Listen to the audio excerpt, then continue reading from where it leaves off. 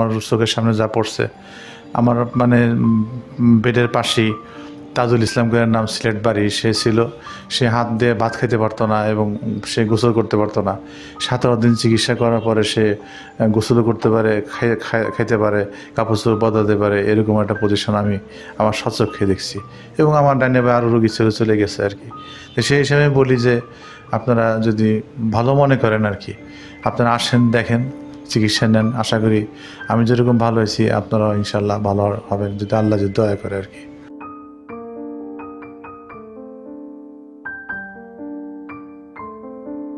জি ইনশাল্লাহ আমি সঠিক সিদ্ধান্ত নিয়েছি। আমি যে রুমে ছিলাম এই রুমে পাঁচজন পা- পাঁচটা সিট ছিল। সেখানে মনে হয় এক মাসের ভিতরে প্রায় পাঁচ সাতটা রুগী চলে গেছে। তারা আমি আমার আমার জানা মতে তারা সবাই ভালো হয়ে গেছে। হ্যাঁ, আমার এতটুকু দৃষ্টিতে এবং আমি আরও অনেক রুগী দেখছি তারা ভালো হয়ে গেছে ইনশাল্লাহ এখানে আসলে থাকতে পারলে উপকারী পাইছে। কেউ এই পর্যন্ত আমার আমার চোখে এক মাসে দেখি নেই যে চিকিৎসা ভালো হয়নি সে ফেরত চলে গেছে। আমি এটা দেখি নেই।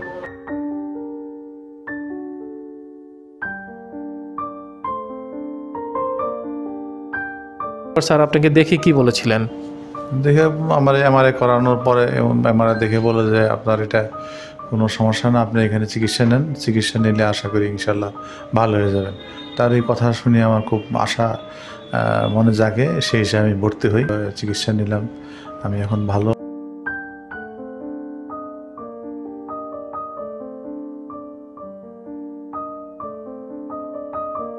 আলহামদুলিল্লাহ আমার কাছে নিজের কাছে অনেক আনন্দ লাগতেছে যে আমি এখন বাড়িতে যাব আমি হাঁটতে পারব বা আমি আমার ঠিক মতন আমি দোকানদারি করতে পারব বা আমি সঠিকভাবে চলতে পারব এটা তো নিজের কাছে অনুভূতি অনেক বড় অনুভূতি যেটা আমি ভাষা প্রকাশ করতে পারতে পারব না আর কি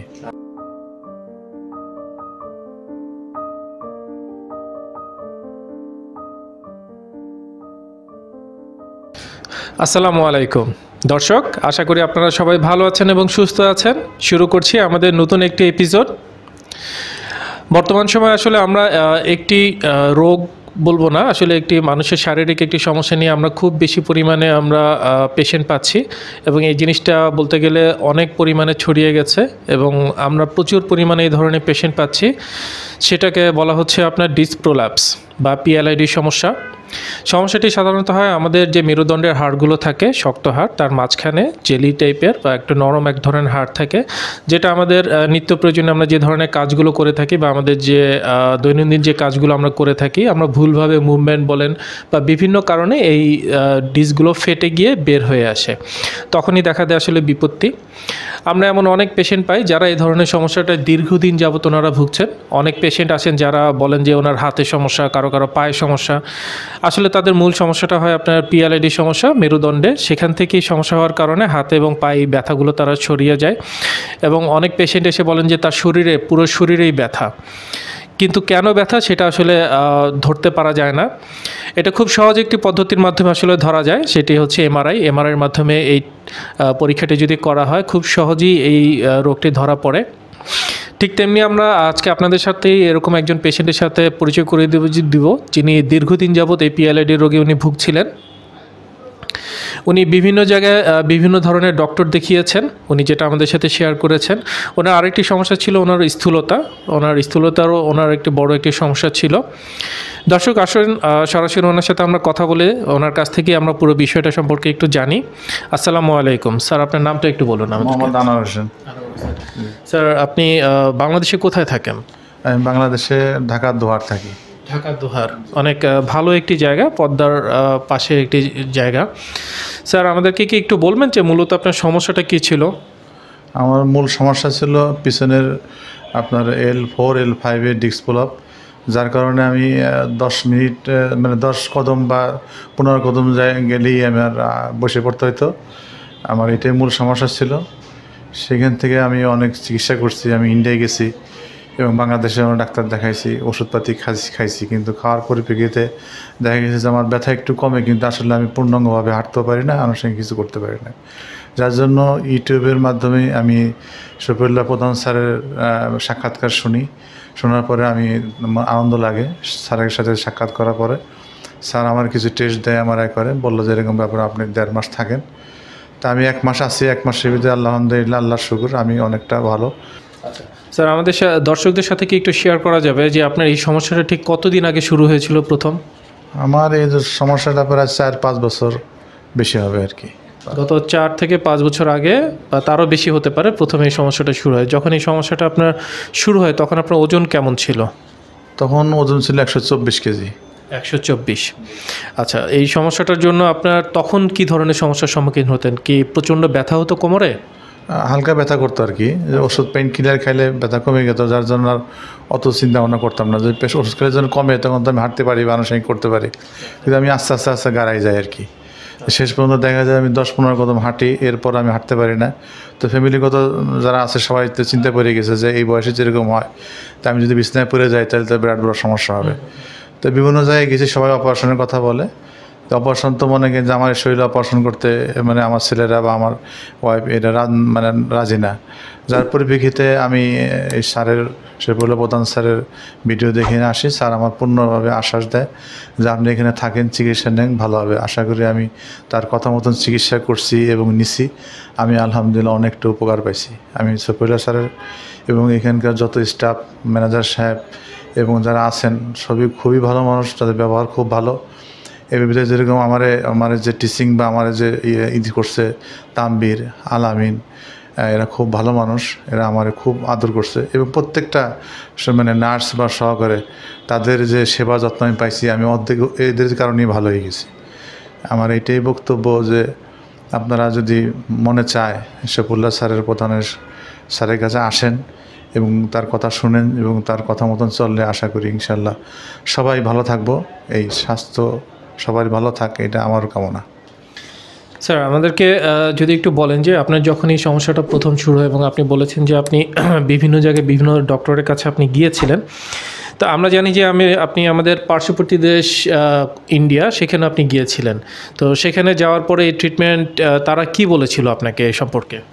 আমার বলল যে ব্যাপার আপনার তো জিক্স যে সমস্যা তাতে আপনি আপনার এই মুহূর্তে তো অপারেশন করা যাবে না, আপনার আশি কেজি বা নব্বই কেজির ভিতরে থাকতে হবে।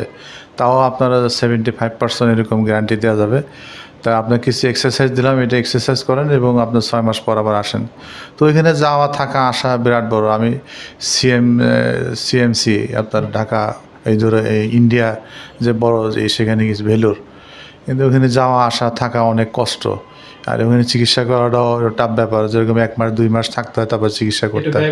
ব্যয় ব্যয় হয়ে যায়। যার জন্য আমি বিকল্প এইভাবে চেষ্টা করছি যে কোন জায়গায় গেলে আমি ভালো হই। তা আমি এই ডিপিআরসি হাসপাতালের সংবাদ পেয়ে আমি এখানে আসি। এখানে আসার পর চিকিৎসা নেওয়ার পরে আলহামদুলিল্লাহ আমি ভালো এখন। আচ্ছা স্যার আপনি বলেছেন যে আপনি যখন ইন্ডিয়াতে গিয়েছিলেন, ওখানকার ডাক্তাররা আপনার অপারেশনের সিদ্ধান্ত নিয়েছিল, কিন্তু আপনার অতিরিক্ত ওজনের কারণে তারা সেই সিদ্ধান্ত থেকে সরে আসে এবং তারা আপনাকে কিছু ব্যায়াম শিখিয়ে দেয়। তো সেই ব্যায়ামগুলো করার পরে কি আপনি কোনো উপকার পেয়েছিলেন বা কোনো ইমপ্রুভ হয়েছিল আপনার? আমার ওখান থেকে তিনটা ব্যায়াম শিখাই দিচ্ছে আর শফুল্লাহ স্যারের এখানে আমার প্রায় দুই থেকে আড়াই ঘণ্টা বিভিন্ন ধরনের ব্যায়াম করেছে বিভিন্ন টেন্স দিছে বিভিন্ন ধরনের আকুপাঞ্চার করেছে এই ধরনের চিকিৎসা তো ওইখানে না। তারা আমার আজকাল দুইটা তিনটা ব্যায়াম শিখাই দিচ্ছে এগুলো করবেন ডায়েট কন্ট্রোল করবেন আর এই ওষুধগুলো দেবেন এই ওষুধ খাবেন ছয় মাস পর আসবেন। এই এতটুকুই আর কি। স্যার পরবর্তীতে আপনি যখন বাংলাদেশে আমরা জানি যে আপনি বাংলাদেশেও অনেক চিকিৎসক আপনি দেখিয়েছেন এবং তারা কি আপনাকে অপারেশনের ব্যাপারে কেউ কিছু বলেছিল? অপারেশনে যেরকম আপনার সবচেয়ে সুনামধন্য ডাক্তার আমাকে বললেন যে বাবা আপনার তো ওয়েট বেশি এখানে তো অপারেশন করা সম্ভব না। আপনি আগে ওষুধ খান আপনার মাঝে ইঞ্জেকশন দেন আপনি ভালো হয়ে যাবেন। পরপর চারটে ইঞ্জেকশন দেই কিন্তু আমি ওভাবে উপকার পাই নাই আর কি। যার জন্য আমি বিকল্প হিসাবে আমি স্যারের কাছে আসি। আচ্ছা স্যার যখন আপনাকে অপারেশনের কথাগুলো বলেছিল বা সেই মুহূর্তে যদি আপনার ওজনটা কম থাকতো, হয়তো আপনি অপারেশন দিকেই তারা হয়তো ঝুঁকতেন, কিন্তু আপনার ওজন বেশির কারণে সেখান থেকে আপনি সরে এসেছেন। ডক্টর শফিউল্লাহ প্রধান সবসময় যেটা বলেন যে, অপারেশনবিহীন হাঁটু এবং কোমর ব্যথার চিকিৎসা, ঘাড় ব্যথার চিকিৎসায় রোগী সম্পূর্ণ ভালো হন। ওনার যে অ্যাডভান্স রিয়া ফিজিও ট্রিটমেন্ট এই ট্রিটমেন্টের মাধ্যমে। তো আপনার কি মনে হয়? আপনি যখন স্যারের কাছে এসেছেন এবং স্যারকে দেখিয়েছেন এবং স্যারের যে ট্রিটমেন্ট আপনি নিয়েছেন আপনার কি মনে হচ্ছে? আপনি কি সঠিক সিদ্ধান্ত নিয়েছেন? জি ইনশাল্লাহ আমি সঠিক সিদ্ধান্ত নিয়েছি। আমি যে রুমে ছিলাম এই রুমে পাঁচজন পা- পাঁচটা সিট ছিল। সেখানে মনে করি এক মাসের ভিতরে প্রায় পাঁচ সাতটা রুগী চলে গেছে। তারা আমি আমার আমার জানা মতে তারা সবাই ভালো হয়ে গেছে। হ্যাঁ, আমার এতটুকু দৃষ্টিতে এবং আমি আরও অনেক রুগী দেখছি তারা ভালো হয়ে গেছে ইনশাল্লাহ এখানে আসলে থাকতে পারলে উপকারী পাইছে। কেউ এই পর্যন্ত আমার আমার চোখে এক মাসে দেখি নেই যে চিকিৎসা ভালো হয়নি সে ফেরত চলে গেছে। আমি এটা দেখি নেই। আচ্ছা স্যার আপনি এতক্ষণ যেটা বলেছেন যে আপনি বিভিন্ন জায়গায় বিভিন্ন ডক্টর দেখিয়েছিলেন এবং আপনি একটা সময় যারা আপনাকে অপারেশনের সিদ্ধান্ত দিয়েছিল, বাট আপনার অতিরিক্ত ওজনের কারণে তারা অপারেশনটা করেনি। পরবর্তীতে আমরা জানি যে আপনি ডক্টর মোহাম্মদ শফিউল্লাহ প্রধান, ওনার আন্ডারে থেকে আপনি ট্রিটমেন্ট করেছেন। তো স্যারের বিষয়ে আপনি প্রথম জানতে পারেন কীভাবে? আমি ইউটিউবের মাধ্যমে জানতে পারি স্যার। তো স্যারের যখন ইউটিউব ভিডিওগুলো আপনি দেখেছেন নিশ্চয়ই আপনি দীর্ঘ একটা সময় স্যারের ফলোয়ার ছিলেন। পরে আপনি সিদ্ধান্ত নিয়েছেন স্যারের কাছে আসবেন। তো স্যারের কাছে আসার পর স্যার আপনাকে দেখে কি বলেছিলেন? দেখে আমার এমআরআই করানোর পরে এমআরআই দেখে বলে যে আপনার এটা কোনো সমস্যা না আপনি এখানে চিকিৎসা নেন। চিকিৎসা নিলে আশা করি ইনশাল্লাহ ভালো হয়ে যাবেন। তার এই কথা শুনে আমার খুব আশা মনে জাগে। সেই হিসাবে আমি ভর্তি হই। ভর্তি হওয়ার পর তো আমি এক মাস এখানে আছি। এক মাস হওয়ার পরে তো চিকিৎসা নিলাম। আমি এখন ভালো এইটাই এবার কথা স্যার আপনার কোমরে যে ধরনের ব্যথাগুলো হতো এবং মূলত যে ব্যথার জন্য আপনি এত জায়গায় আপনি দৌড়েছেন বিভিন্ন জায়গায় গিয়েছেন সেই ব্যথার কথাটা এখন বলেন কেমন লাগছে এখন? শারীরিক অবস্থাটা কেমন আপনার? ব্যথা মনে করেন যে এখন আমার অনেকটাই ভালো আমি এখন হাঁটতে পারি। আগে যেরকম মনে করেন যে আপনার তো দশ কদম পনেরো কদম হাঁটলে আমি আর হাঁটতে পারতাম না হ্যাঁ এখন মোটামুটিভাবে আমি আমার তো পঁচিশ দিন পর্যন্ত স্যার শুয়ে মানে শোয়াই রাখছে। আমার হাঁটতে দেয়নি এখন আমি যে পাঁচ, ছয় দিন একটু হাঁটি, তো এখন আমি অনেকটা ভালো মানে অনুভব করি আর কি। স্যার, আমাদেরকে কি একটু বলবেন যে আপনি যতদিন ভর্তি ছিলেন, আপনার ট্রিটমেন্ট ব্যবস্থাটা সম্পর্কে যদি একটু দর্শকদেরকে বলেন যে কেমন ধরনের ট্রিটমেন্ট করা হয়েছে বা সেই প্রযুক্তিগুলো সম্পর্কে যদি একটু বলেন।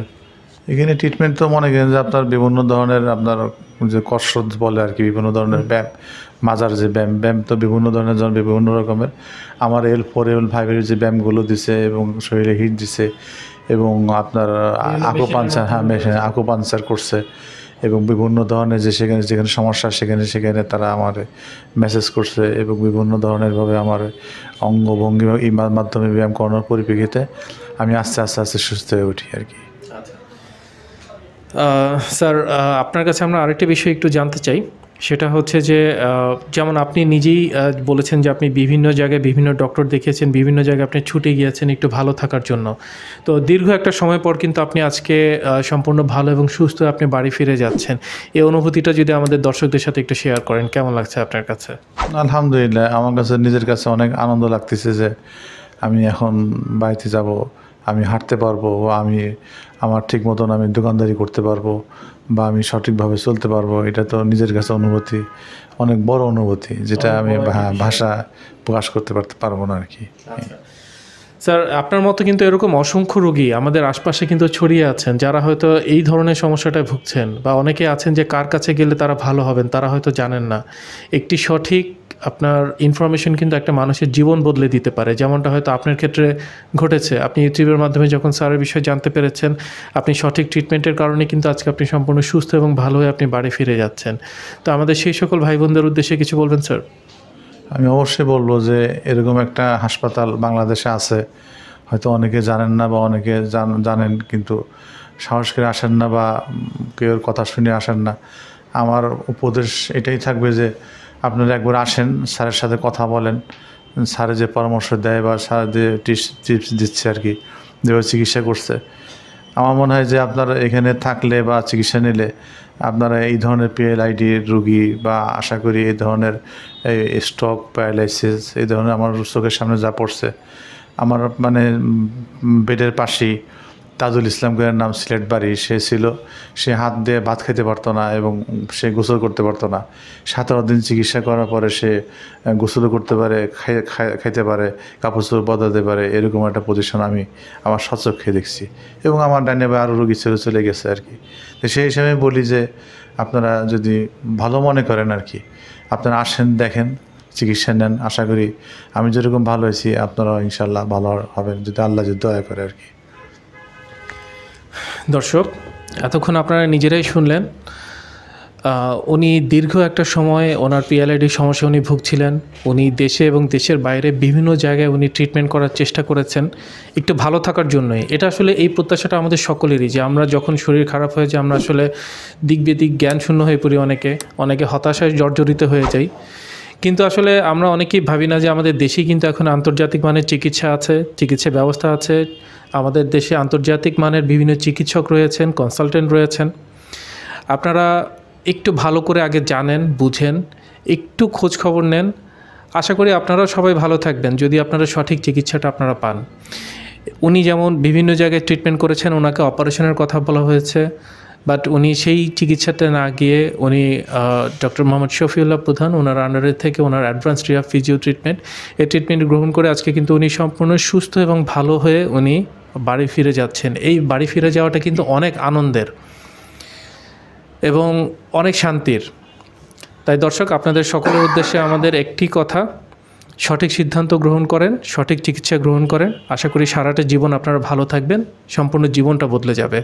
ধন্যবাদ আপনাদের সকলকে আমাদের সঙ্গে থাকার জন্য। ধন্যবাদ আপনাকেও এতক্ষণ আমাদের সাথে থাকার জন্য। আসসালামু আলাইকুম, স্যার। ওয়ালাইকুম আসসালাম রহমতুল্লাহ।